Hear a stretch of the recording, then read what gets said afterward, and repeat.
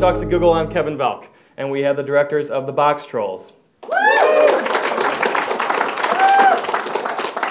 have Mr. Tony Stacchi and Graham uh, Annable. So uh, let's take a look at the trailer for Box Trolls.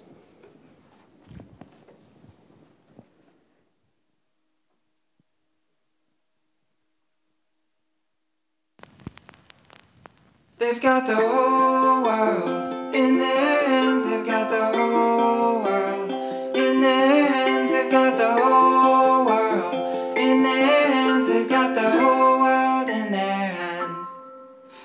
the flowers and the trees in their hands. They've got the sun and the moon in their hands. They've got the wind and the rain in their hands. They've got the whole world in their hands. They've got everybody here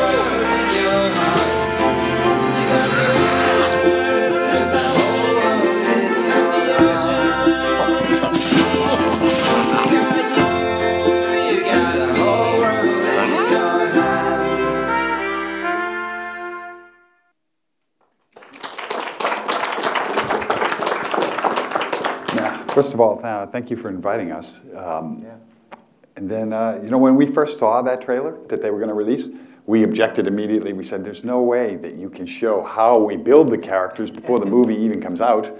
Don't show them with their faces off.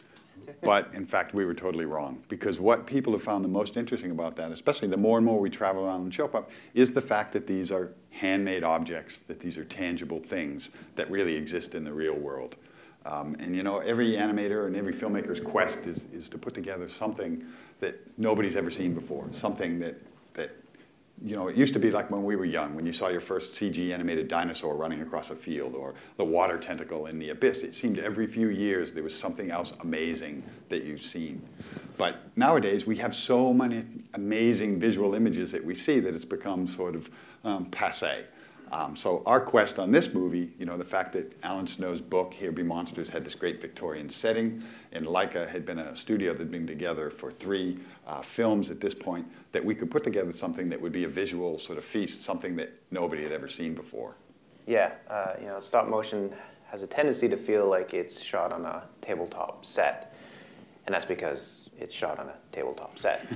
um, and so we knew with a lot of lessons learned on Coraline and Paranorman, we were going to find ways to try to bring a bigger sense of scope, scale to the film. We wanted this big comedic adventure, the Box Trolls, to, to feel different and yet preserve what was special about stop motion. So we really approached this film as a, as a hybrid. Uh, you know, at its core, it is stop motion, it's still puppets, and it's still sets, but we found all kinds of new ways and different ways to integrate our VFX department to bring that world to a larger scale than I think audiences are, had ever seen before in a stop motion movie. And it all started about 10 years ago when Laika bought the rights to Alan Snow's book, Here Be Monsters, which is a fantastic Dickensian steampunk tale sort of smashed together with a Monty Python tone, um, which we loved right away. What Problem we was, well, what we we, loved didn't it. love was the fact that it truly is a cast of thousands in, a, in the book. Part of Alan Snow's appeal in his writing is that he is every page creating new characters to get the old characters out of the situations, and we knew very early on we weren't going to be able to maintain that kind of pace with building puppets. So we eventually gravitated to the most compelling invention that Alan had in the bush, book, which was the box trolls. Um, and it was the emotional story of these little box troll characters raising uh, this character Arthur in the book that became the, the heart of the story and was what we rallied around. And it sort of became a rule. Uh, Travis describes it as ruthless economy.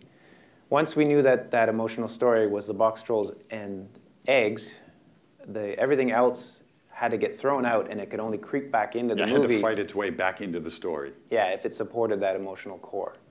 Um, but it's a long journey figuring out stories. I mean, Here Be Monsters was uh, bought at like a, at the same time as Coraline, so it's been pretty much 10 years to get to this point of actually making the film. And you know, every animated film is storyboarded first. That's the way for we get to make the film before we make the film. We storyboard the whole thing out. We record temp voices to figure out our performances before we actually go to the final actors and get there. You know, go to Sir Ben Kingsley or Nick Frost or um, Simon Pegg, and then get the final voices which we need before we commence animation. So we spend a long time. Each story reel is like a rewrite. It's like rewriting the script, and you see if the story works, and then you present it to everybody at the studio.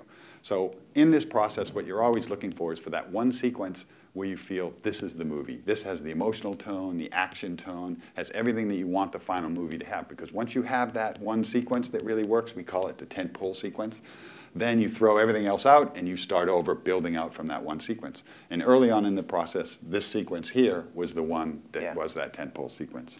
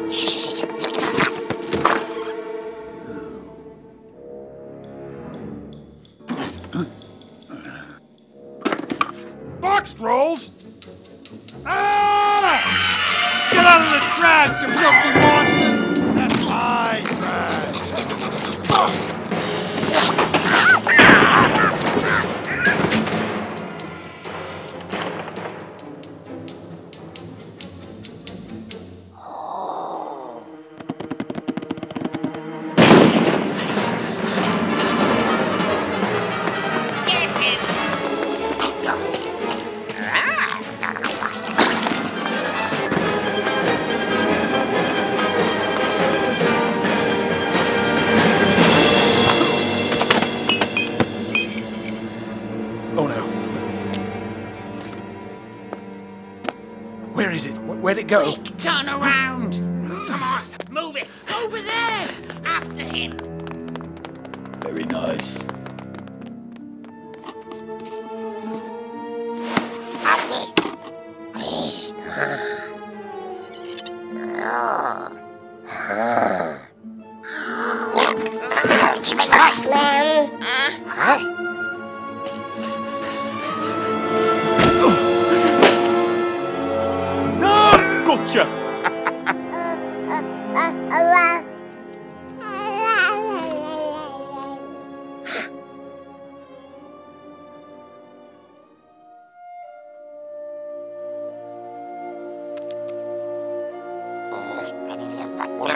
So, yeah, there was,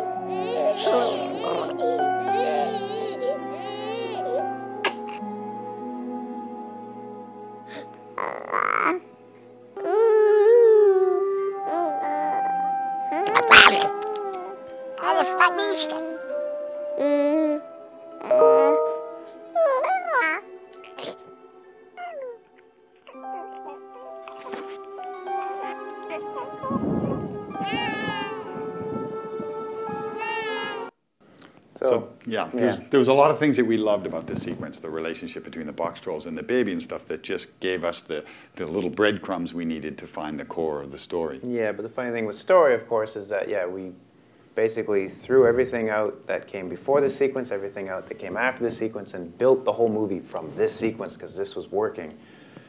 And within about three months, we cut this sequence.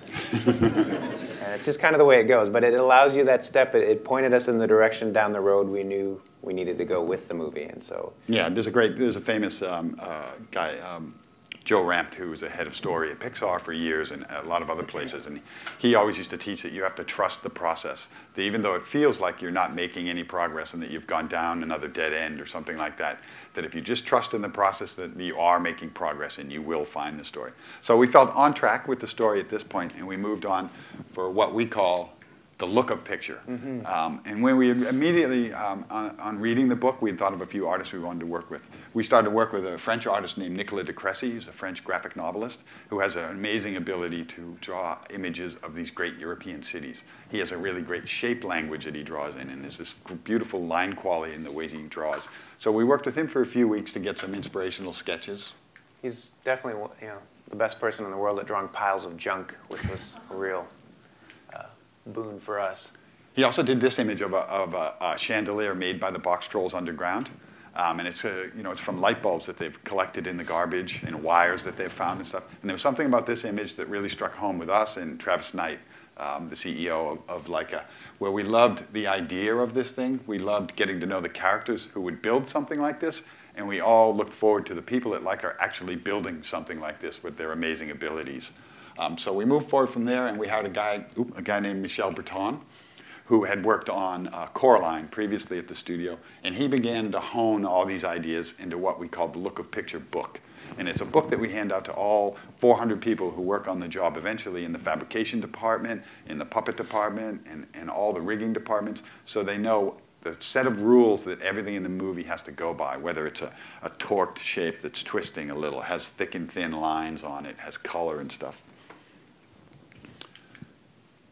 Yeah, and it was a real challenge for the art department to figure out ways that were, you know, a huge part of what Michel does so well is his line work, as you can see in this image, and they had to find all kinds of ways to represent that wonky realism that Michel brought to everything through his line work. And the scale of, of this film was going to be a huge challenge. But uh, Curt Enderle, our art, our art director, was able to find ways using shadows and shapes and color on buildings beyond just twisted light poles and chandeliers to find ways to bring that shape language that Michel had created into the film.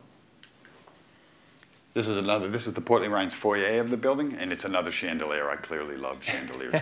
um, this chandelier was built by Curt uh, in the art department out of twisted wire and stuff, so that became the first object that we really loved, that thought captured Michel's drawing style in the world of the film. Because you don't get anything free in animation, and particularly in stop motion. Anything that appears in front of the camera um, has to be built, has to be made. Um, we don't inherit any of the props from Paranorman or Coraline because they're done in a different style. Yeah. So once the images started to land in black and white, um, we moved forward with Paul Lasaine, a great matte painter and production designer in LA. And we definitely wanted to make a stop motion movie that wasn't too dark. Yeah, beyond just making a stop motion movie that felt bigger in terms of scale, we also wanted to see what we could do to bring brightness, color to a stop motion feature, because that's another aspect of it that they tend to have desaturated palettes in a lot of stop motion movies. And it's great, it's wonderful, it's an effective thing, but we really wanted to see and push the studio to try to do something a little more colorful. And Paul Lasaine was the perfect guy to bring that to the film. He had he'd worked on Dick Tracy. He, Yeah. he really knew how to bring color into things. He also did a great job of um, color styling the Boxtroll Cavern because the Boxtroll Cavern itself as a location is almost a character in the film because at the beginning of the film it's supposed to be a warm, inviting place where the, the hero eggs is raised, but little by little it becomes a depressing, drab place as more and more Boxtrolls are kidnapped by the men in red hats. So he did a great job of, we did that predominantly through light and color. Yeah. Now we found ourselves in a weird spot because usually when you develop a feature, you kind of start with your characters and your character design first, and then the world kind of begins around that. But Michel, Paul, and Tom McClure had done such a tremendous job in quickly figuring out the shape language and realizing the world. We had the world before we really had the characters nailed.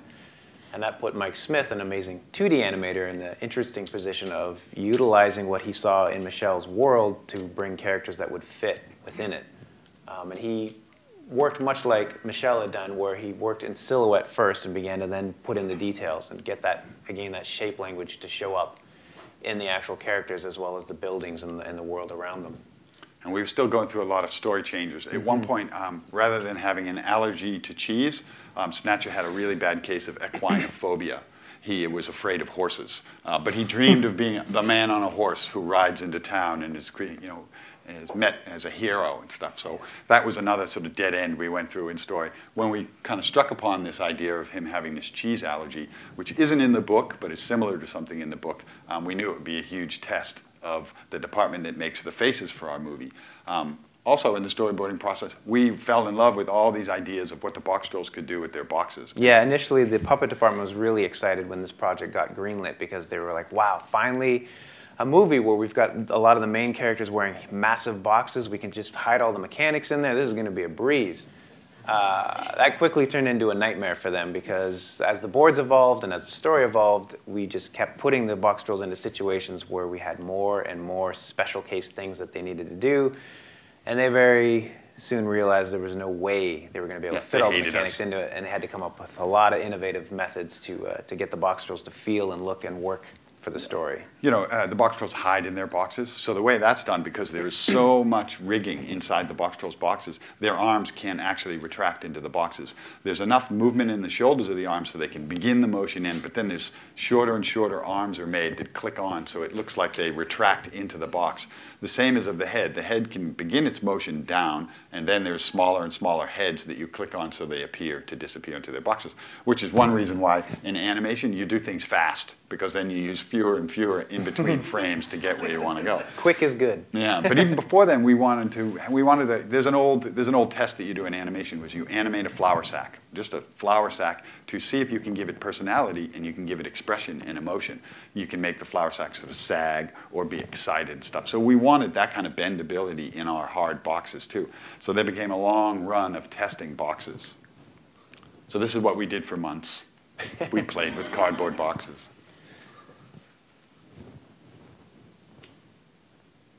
And they were also trying to find a material that would look like cardboard and not be too rigid. Yeah, originally they did try using cardboard, but it just there was no way it was going to hold up to the rigorous shooting schedule.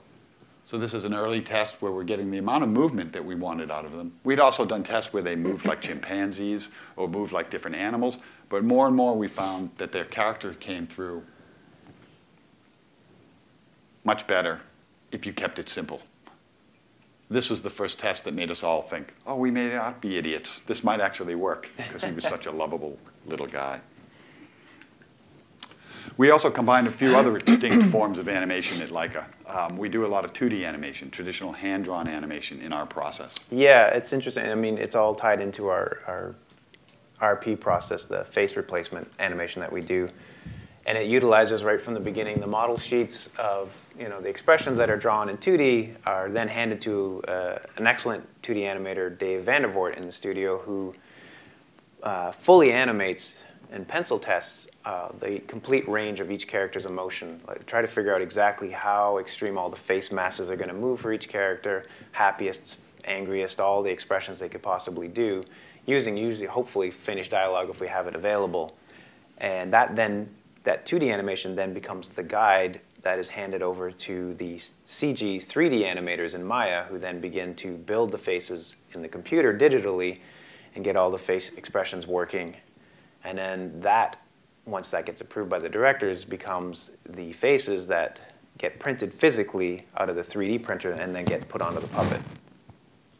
And this is an example of the faces that are printed for the guy. And we print these by the thousands. Yeah, For eggs- every little nuance of change of expression. Eggs had about 15,000 pieces created for his face for the film, which in different combinations, uh, because they're usually actually typically split between the brow and the mouth. And so all those different combinations with the 15,000 pieces allowed for about 1.4 million possible expressions, which I think I've got about six. So Eggs was a little ahead of me.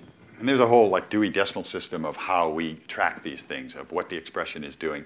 Usually the faces are split along here, so you have different eyebrows that can go along with different mouths. And there's a whole room that we call the face library, where there is boxes of these that are, are basically like a pizza box, and they're full of face after face after face. We have a little clip that shows you the process. If I can get this back on. They don't make you. You make you. we knew from from Paranorman that you know we had this color printing process that worked really well, but it worked well to produce some naturalistic skin tones. And now looking at these really vibrant sort of theatrical paint jobs that the directors wanted on box trolls, we were sort of scratching your head saying, well, in theory the machines can do it, but we don't really know if they can do it. And maybe they can do it once, but are they gonna be repeatable? If you get a beautiful paint job, how is that paint job gonna animate? And we, we came up with a way to do it. It worked really well. Oh, my little angel. My weird little angel. Looking at how we were able to improve the process on Paranorman and then looking at the script to Box Trolls and these really specialty story moments, we needed to have something unique. And Allergy Snatcher is a perfect example of that. Isn't this nice? His face has so much swollen weirdness to it that having him say a line of dialogue, you get so much follow through with his cheeks and his lips Supping on the choicest cheeses.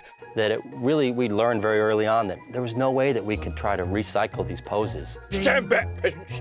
You don't touch your king. So what we decided to do was tackle every single one of Allergy Snatcher's shots as its own unique animation.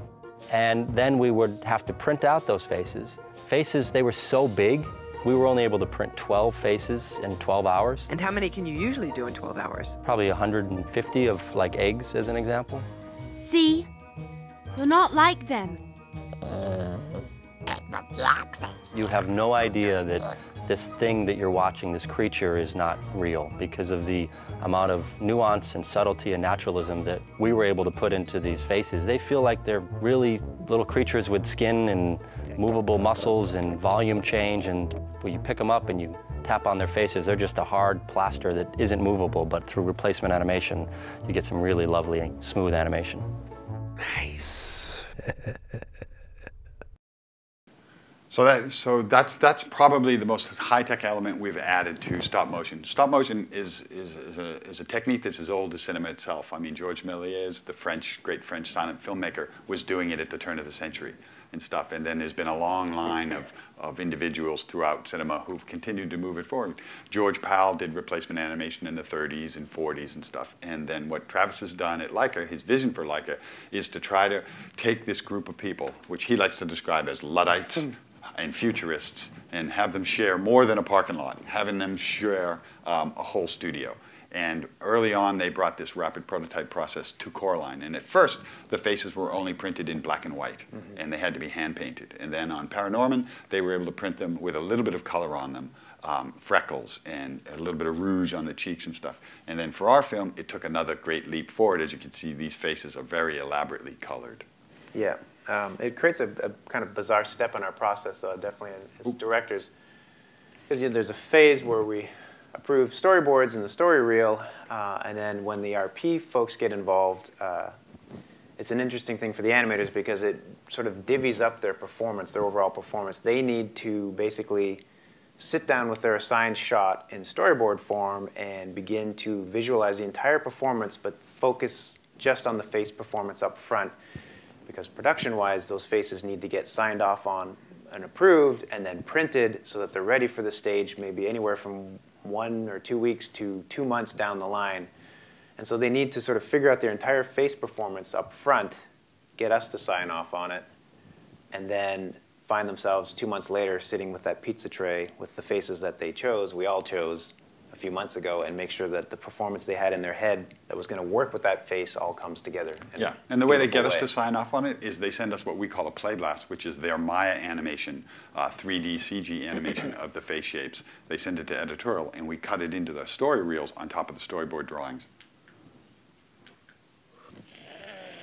So this is the Maya animation of the faces prior to being printed out. So we look at the performance on here.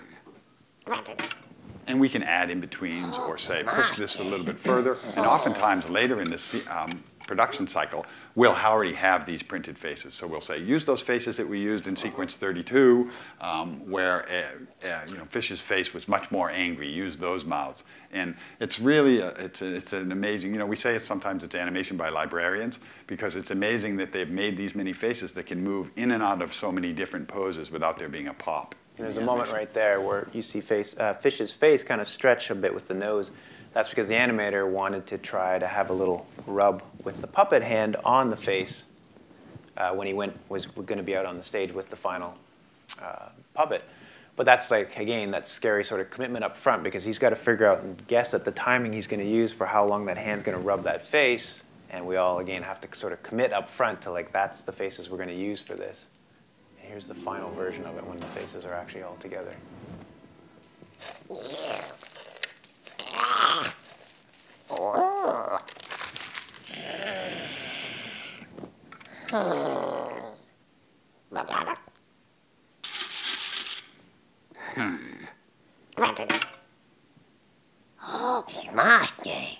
So that's the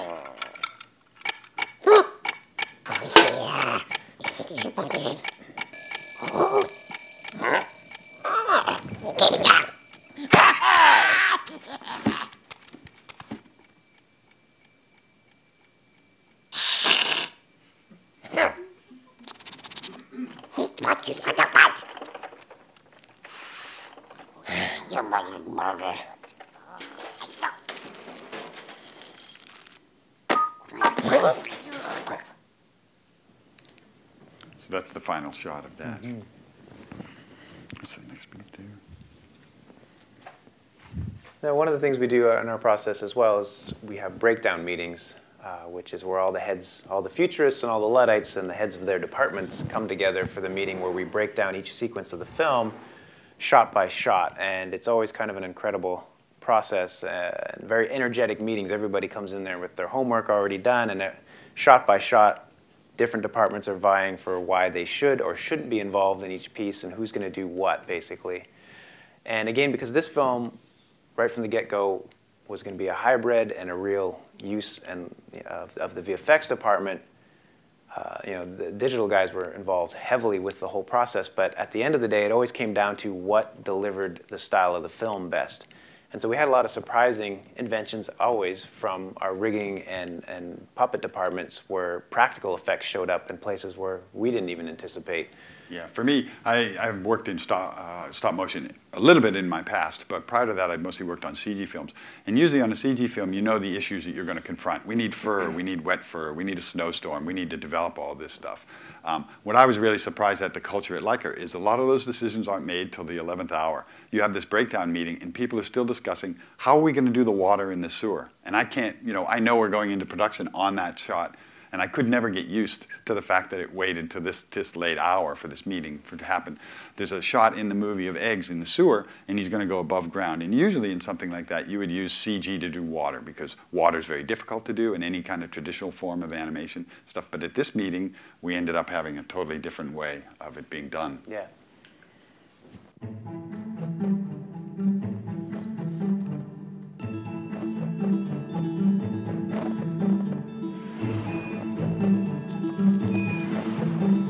There's nothing that exists before we start on one of these films. Every single thing that you see has got to be designed and built by hand. What? You don't get anything for free in stop motion. We've really got to plan out every single element. and that goes as far as the fire and the smoke and water and all the natural elements that you'll see on screen. Tell me everything! As an art director, it's awesome. I mean, wh- how often do you get to create everything? I mean, that's an incredible sense of power. One of the things that's incredibly difficult to do in a stop motion film is bring the environments to life in a believable way. And it's something that was very important for us in this film to have that level of atmosphere. We talk about what's water going to look like, what's the destruction, what's dust going to look like, what are the materials that we would use to create these images, and that's where we start. You can't change nature. We created this entire sewer system with flowing water and dripping water out of just plastic and glass. What we have behind me is a sheet of glass uh, that has ripples in it, and it's made from shower glass. And that's passing from left to right, and that's giving us our flow. And then what we've done is we've created a little nest of mirrors and wires and bits of blue masking tape. And so what we're seeing is we're seeing the effect of the rippled glass passing over those wires and mirrors. And that's given us the illusion of the highlights above ground. How curious, how peculiar. The 24, 25 different kinds of weeds that we have growing in Cheesebridge are all specific weeds, but yet they're sort of stylized in a way that puts them into our world, which I think is the important thing. A new species, never seen before. For the fire, we did a lot of early tests on uh, with using cheesecloth. Our rigging department did this amazing series of, of flames and this amazing fire out of just using suspended upside down cheesecloth hit with kind of this orangish yellowish light. And it looked incredible. The attraction to making like natural elements is partially the challenge of uh, taking on nature. You just become more appreciative of like the things you take for granted by delving so much deeper into the subject matter. It's the little moments. And when you've got it, you just feel like you just you're kind of neck and neck with nature. There's quite an empowering feeling about it, trying to emulate nature.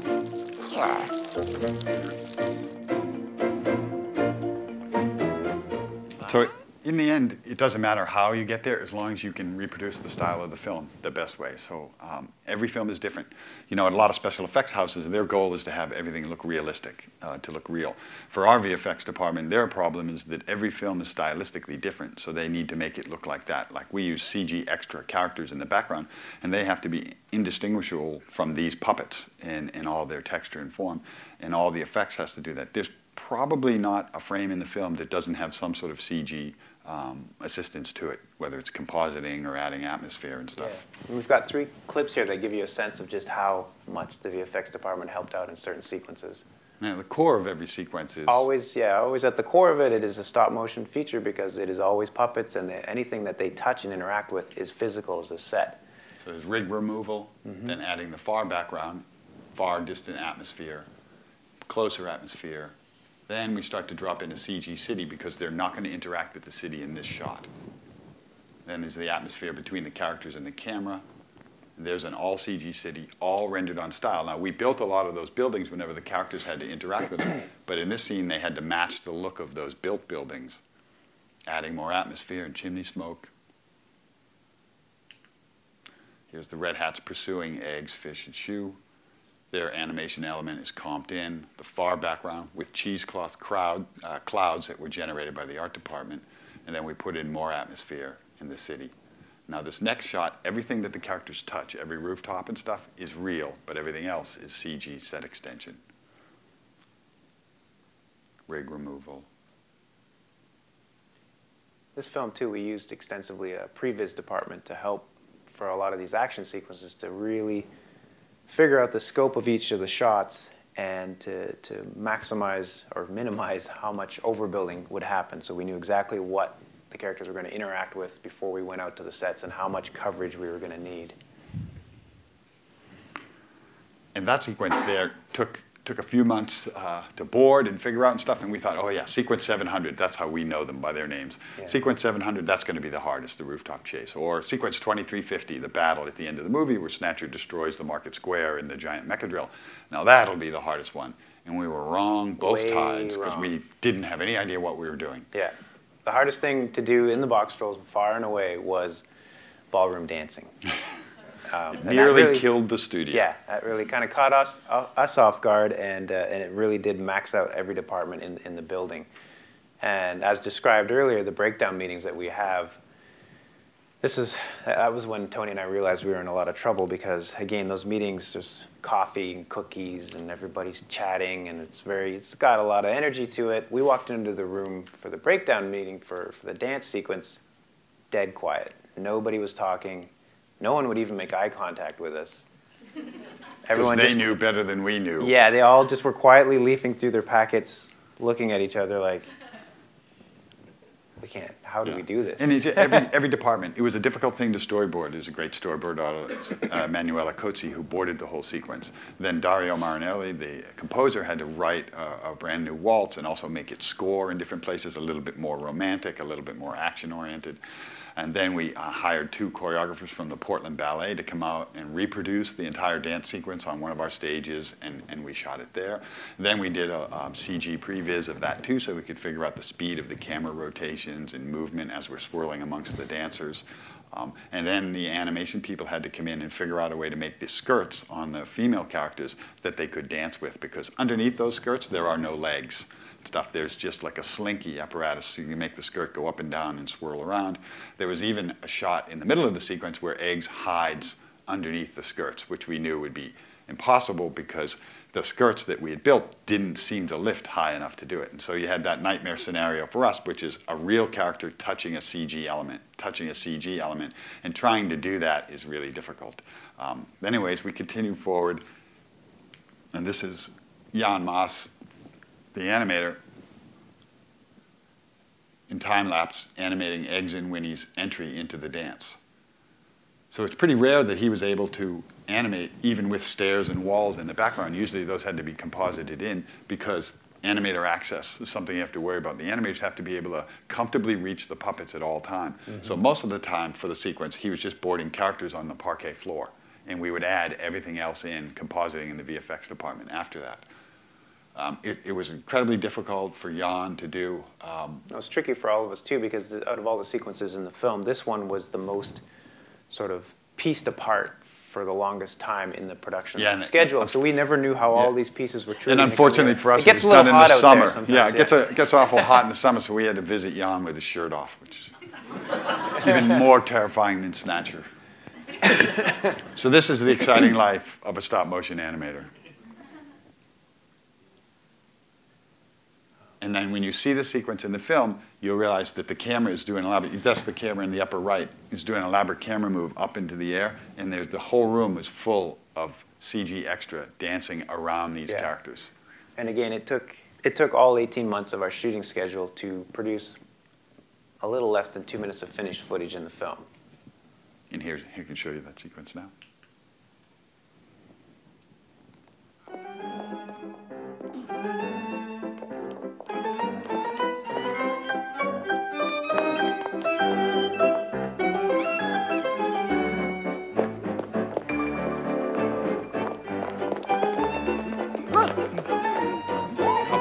Have to be real. But most of the rest of the characters are There CG you are. Extras. We have to get to your father. You can't just cut through. We dance. We'll what? Like this.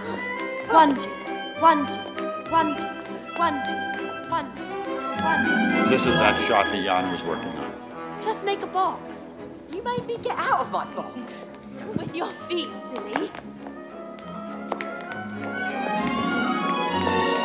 That's it, Eggs. You're dancing. ha!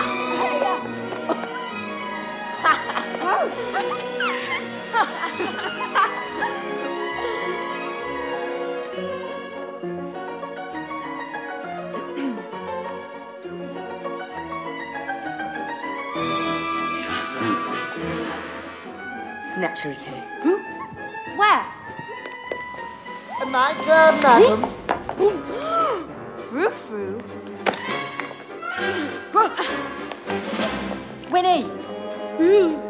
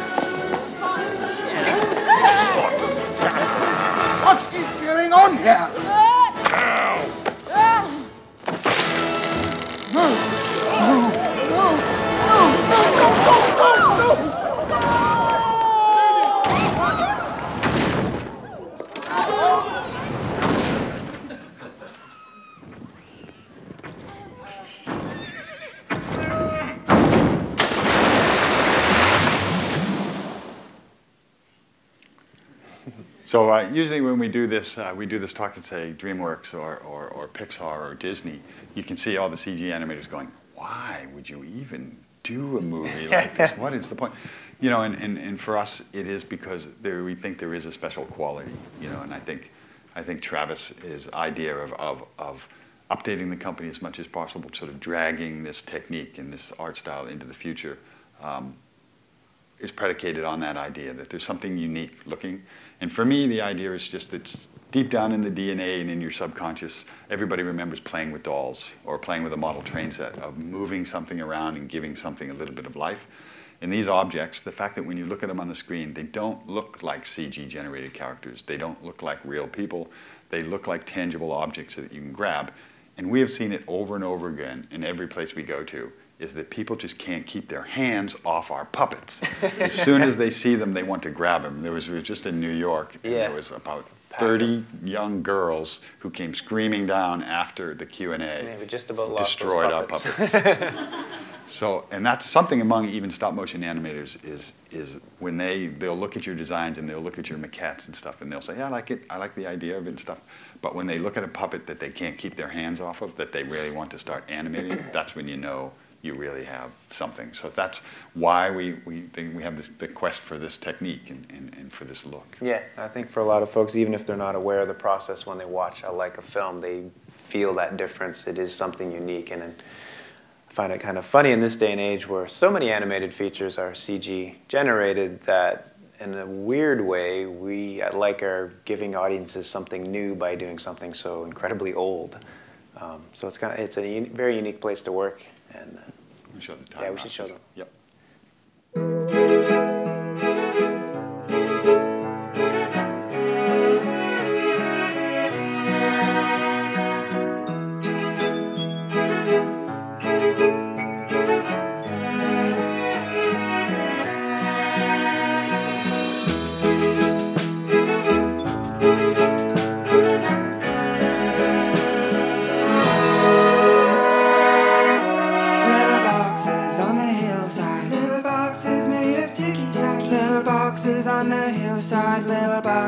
All the same. There's a pink one and a green one and a blue one and a yellow one. And they're all made out of ticky tacky and they all look just the same.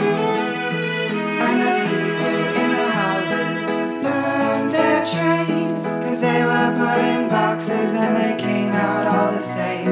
They're white hats and red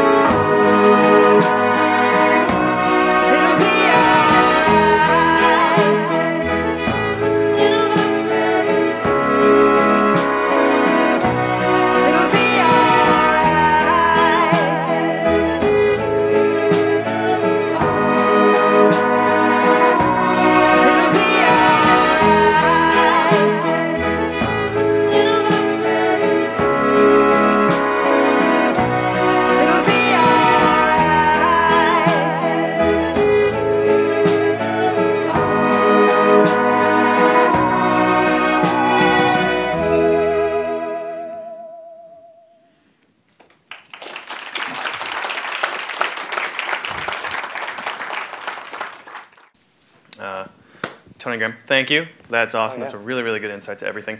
And so I kind of want to talk about you guys' kind of interest in kind of how you got brought into this project. So, uh, Tony, you have been around for a while in the industry. I mean, you worked all the way back in you know special effects with as an effects animator on Back to the Future and Hook and, and Rocketeer and Ghost and James and the Giant Peach was kind of your first experience in stop motion. Is that kind of what drew you into animation?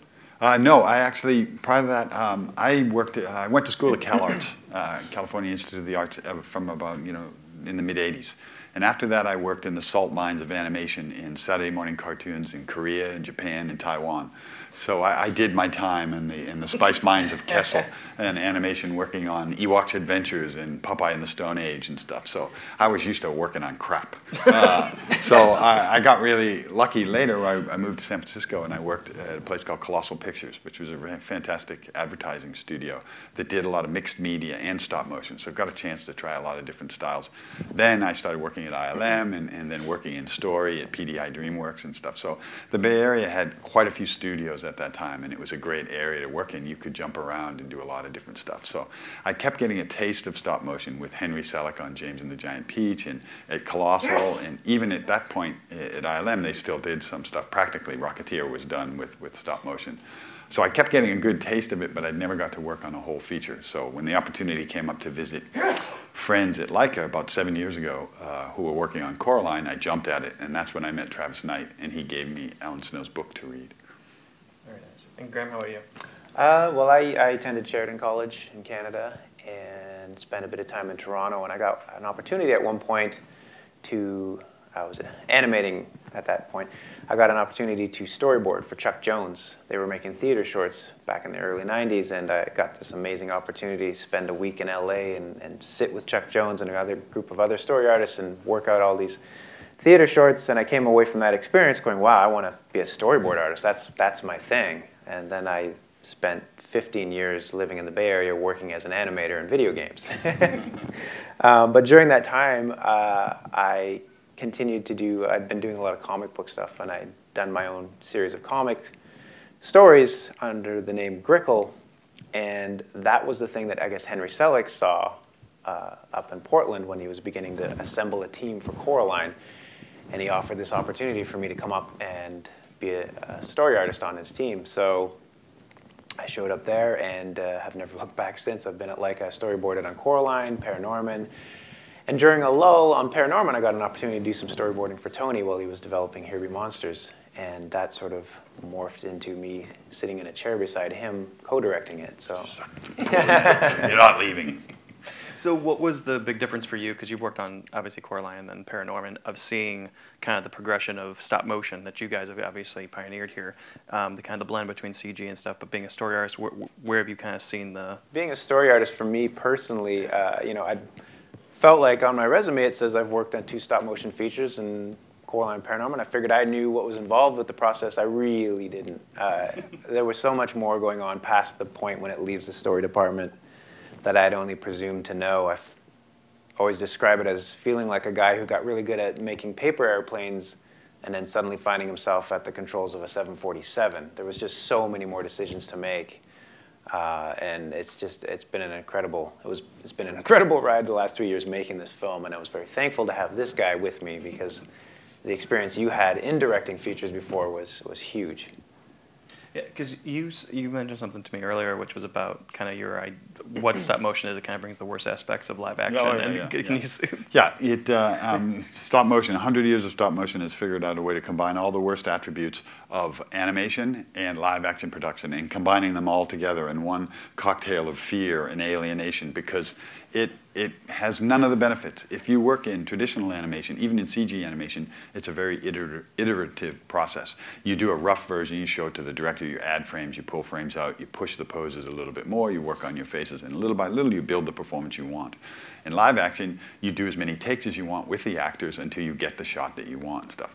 In stop motion, it's very different because eh, in stop motion, once you've got your faces prepared and the storyboards are ready, you bring the animator in, and you may have been working on this moment for two or three years, but it all comes down to that animator launch. The moment you sit down and you explain to the animator what you want, and at that point, he gets what we call a block, which is essentially just posing the puppet on six frames or eight frames. Now, usually you animate on twos or ones. We animate on ones, which means we move the puppet every single frame.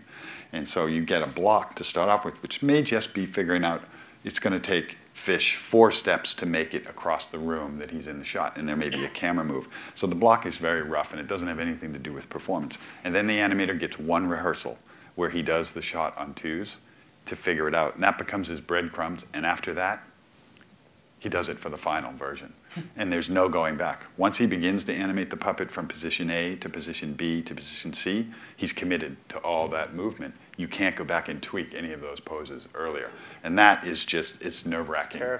No, nobody gets into animation to perform in front of a crew of live-action guys standing over your shoulder while you spend two weeks moving a puppet across the screen and stuff. Because it, it, we described it as it's, it's opening night Yeah. every day for 18 months with no rehearsals. Yeah, it feels So- much more like theater to me. I think it's that Yeah. same sort of stress of like you give them as much information as you can possibly do, and then they get pushed out on stage, and that's the performance you'll get forevermore in the film.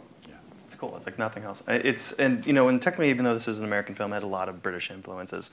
You know, and just some of them. I mean, you know, everyone obviously speaks with a British accent, and then you have you know Nick Frost and Simon Pegg, who are huge you know UK comedians, and then but you have a lot of Monty Python influences in there as well, and the whole world seems almost kind of like a Charles Dickens kind of story. And you, I mean, you have like the one ton weight, which I don't know if that was a reference to Monty Python or not, but then you have also that scene where Snatcher kind of get has that allergic reaction, and that's. From Python. yeah, It's like- yeah, very much. Yeah. Yeah. No, when we read the book, Alan Snow's book, he's English. Um, he's he's eccentric. Um, he's a really great. he's really great guy, Yeah. and um, has a, a lot of crazy influences. That was the tone of the book. We so, always describe the project as Python-esque. So yeah. yeah. We discussed for a minute, with, let's set it in Boston, you know, and it, that lasted about half the meeting. Uh, no, it was always going to stay that way, so it seemed natural. And luckily for us, Travis had no problem with that. There would be very few animation studios in the country where they would agree to an all-English cast using people like Richard Ayoade and stuff who aren't that well known here, but Travis never blinked. Um, you know, he thought it was um, appropriate. He wouldn't have had it, you know, any, any other way. and it was a bit of revenge. I mean, Yeah. Paranorman was a film set in Salem, Massachusetts, Massachusetts, essentially. directed by two British fellows. So and they made us this was look our all, turn. They made us all look ugly and stuff. So we made these guys, and look, as you can see, there's not a straight tooth in the thing. So it's our, it's our revenge on uh, Chris and Sam. and uh, you know, Dee Bradley Baker and and uh, Steve Blum, they kind of you know they're really really talented voice artists, and they kind of created the whole box troll voices and their whole dialogue. You know, they drew a lot of influences they said from like Klingon and Jawa, you know, language. And I kind of want to talk about and Tra- Tracy Morgan almost has. He plays. he has so like his Gristle character. Excellent English accent. Excellent. He has almost language. Do you find it uh, that you kind of like what what was the development of that language and when you guys kind of landed on that? That was another thing that grew in the whole process. Yeah, it was one of the things where early on we had all these great aspirations of maybe writing, you know, dictionaries of Boxtroll language and have all the words and things be consistent and specific.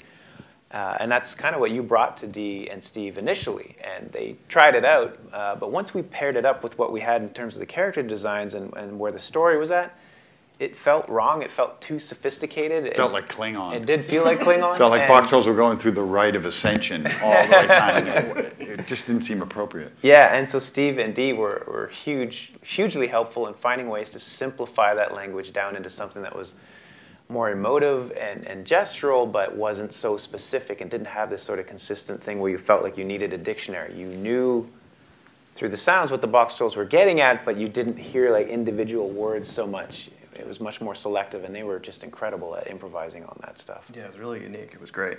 And so, and you talked about a lot about this in your talk, but where do you mm-hmm. kind of just start to define the line of where you're going to go stop motion, where you're going to go CG?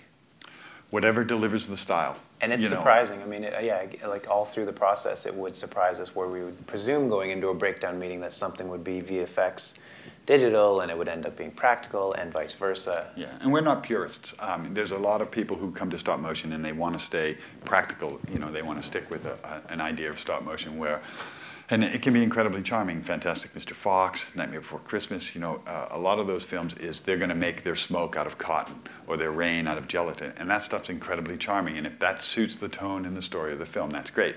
But in our film, which we wanted to open it up a little, make it an action adventure, invent, uh, action adventure comedy. Um, we didn't want you to ever see an effect or something that charmed you out of the movie, that threw you out of the movie. It's like suddenly Jeopardy feels real and the world feels really credible, but then something is, you know, smoke is made out of cotton. So we wanted to treat it, our stop motion footage, as if it was live action uh, footage, and we were adding realistic special effects. Realistic, but on style for, for Yeah. our movie. Yeah, and you know, you know, you talked about a lot about ballroom, you know, scene and everything, and uh, that was, I mean, everything from the Trolls Cavern and, and the crowd shots and stuff was, and I, what I was actually surprised at with all the stop motion of them jumping on top of each other in the boxes as well, them kind of like gathering up to go to sleep. And uh, was there any of talk of that, to doing that CG too, kind of like how you did the CG back characters, you always wanted to do No, that stop the, motion? the one sort of golden rule in terms of like uh, choosing practical or VFX in a situation is again, anything that the hero puppets interact with needs to be and should be practical. So it, everything was always designed with that at its core, and then we would go from there. However, we wanted to enhance the moment and bring you know different effects into it. But Yeah, and it's not, eh, you know, financially it's not worthwhile, and we don't do it, is there aren't computer avatars for the heroes. We don't have a computer version of eggs or the, the most important eight box trolls. So you always want those guys front and center anyway. So even if part of the pile stacking around them later is CG, when those guys are stacking, they're real puppets because we don't make copies of them digitally. It's really just, you don't want to make the movie twice when you make a movie like this. So making a real eggs and a CG eggs would sort of defeat the purpose and be twice as expensive. No, absolutely. And did you find yourself pulling back on some of the VFX stuff? Uh, no, no. I mean, the box troll cabin invasion. In fact, we uh, there's a couple of animators that want to punch us out because when Snatcher invades the tunnel there and lands, we animated that whole sequence before we add the effects of all the dust and stuff dropping in, and we kept telling the animators, "Don't worry about animating the rocks rolling around the ground. Don't worry about." But they would do it every time. So, and when we added all the CG effects, it covered up a lot of their most subtle bits of animation and stuff. But we wanted it to look super destructive, really Yeah. over the top. Yeah. And was it helpful? Because I mean, obviously, with all the sequences of having two directors on this, so being co-directors as opposed to just one person handling yeah, I think when the, when they you know during the pre-production phase of it, we're kind of joined at the hip, and we are involved together on almost all the meetings and decisions. But once the shooting schedule begins, that's where the studio really benefits from the fact that there's two of us to be able to split between uh, two different edit suites, and we can kind of streamline and make as efficient as possible the, all the animation launches. We sort of split up on sequences. I mean, we constantly check in with each other all day right long. Next to each other. Yeah. But There's 55 stages going on. There's 27 animators working, Mhm. um, and they're all working on different shots. There's, you know, there's twice as many stages as animators because you always want their next stage to be setting up when they finish. Um, and so that, those things, you have to go out and meet with those animators each, at least every other day while they're working on their shots. You have set visits, you watch what they're doing, or they're completing their shots or completing their rehearsal and you're reviewing them in editorial. And you never want an animator standing there waiting for director input. So it, that's when it's really important. Gotcha. Uh, and with the story too, you know, it got it didn't get as dark as the books. The book is definitely a little bit darker. You know, I got a little bit with with uh, you know Winnie's kind of discussion about the box trolls about how they are stealing Oh, and yeah, eating her morbid fascination with them. Yeah, yeah. You know, but was there any uh, any push by the studio by you guys even to pull back on that darkness or put more in, or was it just kind of where No. the story took you? And, and, you know, um, it didn't have a supernatural element like Coraline did in Paranorman, so we were kind of happy for that. We definitely wanted it to brighten it up, but we also felt from the very beginning that the, the property, the story appealed for younger kids. So we never wanted to jeopardize that. We don't do focus screenings. Travis doesn't believe in that stuff. We, we have our own kids, and you know, we make movies that we want to see, and we judge them by our own kids. And honestly, I show it to my kid who's sick of seeing it and stuff to try to figure out the moments that might be too powerful and stuff. But we definitely believe that that, that um, because we're an independent film studio and because Travis is, is really has the vision for the studio that we want to find stories that are willing to go a little bit darker because you need those lower depths to get the high higher highs emotionally on the other end of the spectrum. And honestly, you know, when you were growing up and you were watching Dumbo and Pinocchio and a lot of those older films, they were willing to sort of go to some of those darker places.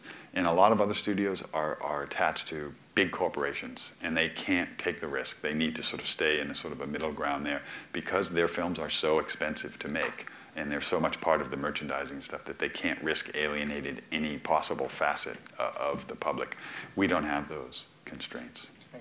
I gotcha. And so, uh, you know, with you guys having this big success and you guys signed with Focus for three more movies, I know they're not announced yet, but where do you kind of see this going and kind of pushing? Because obviously the ballroom sequence was a huge learning experience for you guys. Would you guys ever tackle something like that again, or was it just like, oh, we got?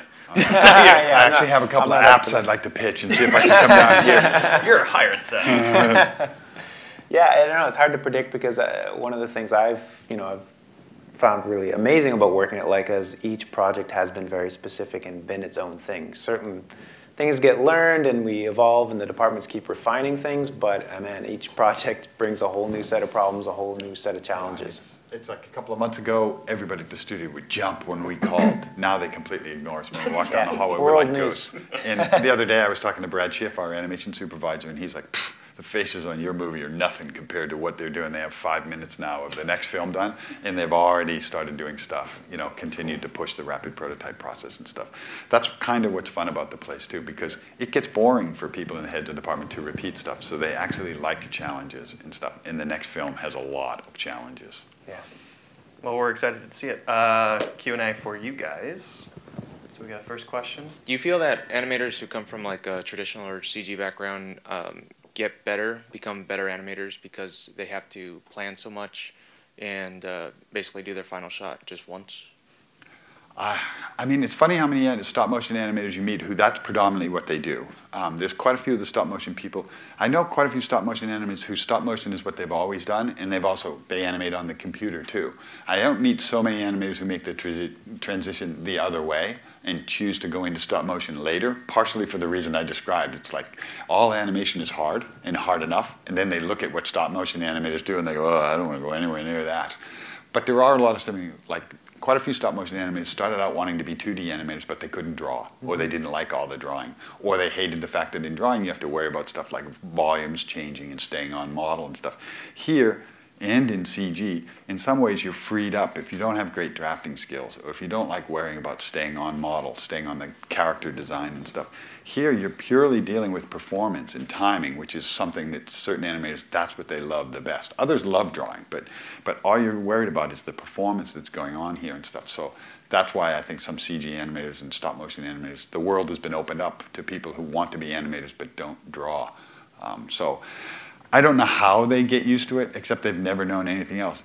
There are places where they do stop motion animation where there, there, there's no rehearsals. Um, some TV stop motion and stuff like that, or people who've worked on Gumby and some of that older stop motion. So in some ways, as hard as what we do um, is, it's actually luxurious compared to other jobs that they've been on. It's just that Travis has a very specific sort of um, rigorous idea of the quality of the animation that they want. So it is working at the highest level, and I think that's probably the most intimidating thing. Yeah, definitely. I think the fact that yeah, Travis is one of the lead animators and one of the best in the studio, that uh, that department certainly feels the pressure to to keep their keep their A game up. Okay, so uh, my question is actually about the the uh, statement you made about uh, using uh, practical characters for anything that was going to touch another Mhm. character. Is that a is that a, about appearance or about performance?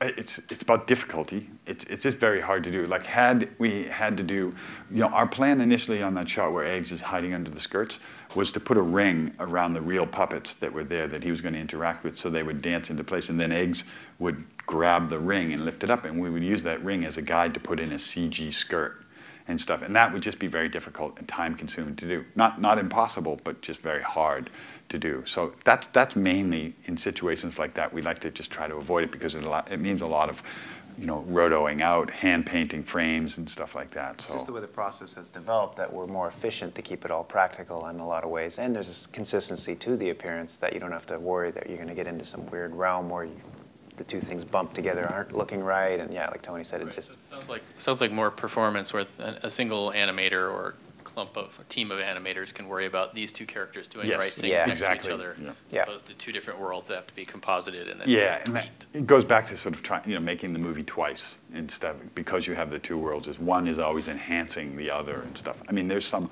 there's a couple of wide shots in there that are predominantly CG, and then they would just. Um, you can do camera tricks and stuff to give you that wide views of the city and stuff, but that becomes problematic when you're doing stereo. Um, in 2D, uh, 3D stuff is those little cheats don't work as well in 3D and stuff. So there's always an answer to every problem, but I don't know any of them. I just sit in the room and wait. Let those guys at the other end of the table hash it out. I was curious, you've referred to cost a couple times. And uh, you know, you said it would double the cost to do both CG and and uh, practical versions of the characters. How does the cost actually compare overall versus doing this? Um, doing I actually try to stay out of that as much as possible, but I do know that all three of Laika's films cost less to make than it takes to make one big Pixar film or one big DreamWorks films. You know, and their films are upwards of two, $200 million it costs to make and stuff. Um, so these are significantly less, even given, you know, we have about 400 people at the peak that work on the films in that 18-month project, you know, cycle. When we start storyboarding it, maybe five years ago or six years ago, we start really working on the story. We have a very small crew, and then the crew just gets bigger and bigger and bigger till you hit that 18 months of production, and then people start to drop off because the puppets are all made and the sets are all made and stuff. So that, that crew is, is big. It sounds like a lot, but it's still not as significant as a big CG feature film. We only have 25, 27 animators. Pixar, DreamWorks, some of those places, they'll have 65, 70 animators work on one of their films by the end of it. And there just aren't 60 or 75 really good stop motion animators in the world. Even if you wanted to have, throw that many bodies at the problem, you, you couldn't find them. And uh, kind of last thing I want to talk about is just, was there any moment in the film that was just uh, your kind of favorite moment or your most proud moment that you guys were able to accomplish, other than the ballroom scene? Well, I know awesome? for me personally, uh, S- uh, Snatcher's End. uh, out of all the screenings we've attended and done, I always make sure to sneak into the theater to, to be with the audience when that moment happens. Because for me, storytelling wise, that is definitely the most gratifying moment in the film. Yeah. For me, when I first started on it, I loved the story, and uh, my son was born about the time I started reading it. So I immediately felt like the Boxtrolls were like these lost boys, and it's the story of a lost boy. And I started uh, commuting from LA up to Portland, so I had a lost boy at home uh, that I wasn't seeing. So for me, that, that really appealed to me. There's a little sequence in the film where Eggs and Winnie are sitting on the edge of the cavern, and they're talking about what a father is. And for a long time, I kept put, keeping that in there. And Travis liked that film because, uh, liked that moment, and Graham liked it because they both have young sons too, and they know when you work in animation, you are uh, the definition of an animator is an absentee father. Uh, so, you know, that element was important but the story didn't need that moment for a lot of its time, and I always felt like that needs to be in the film. That's at the core of the film. It's really important. But I had a hard time justifying it a lot of times to the story department. They were like, "What is this big conversation Winnie's having when she's talking about a father? Doesn't seem to fit in there." And eventually, the film got to a place where that scene made sense. So that was a scene where there was a lot of other scenes that I fought just as hard for that died miserably, but that one survived, and for me, that was it. And it, It's one of those rare moments where the movie, the story gets to breathe a little bit. yeah, and it slows down. And just, you know, for me, it's the core of, of sort of the emotional core of the film. That- No, absolutely, and it's it's phenomenal. So let's thank uh, Tony and Graham for joining us.